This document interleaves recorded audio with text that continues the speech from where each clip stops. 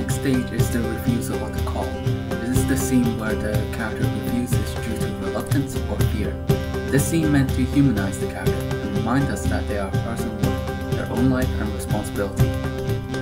This choice is changed, however, by the events of the destruction of their hometown or exiled by their people